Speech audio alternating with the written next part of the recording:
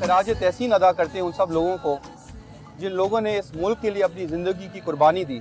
अगर हम लोग सब यूनाइट हो जाएँ और अहद कर लें तो हमें कोई चीज़ डिफीट नहीं कर सकती। हमारे कायद अजम ने कहा है there is no power on earth that can undo Pakistan Pakistan जिंदाबाद पाकिस्तान पाइंदाबाद।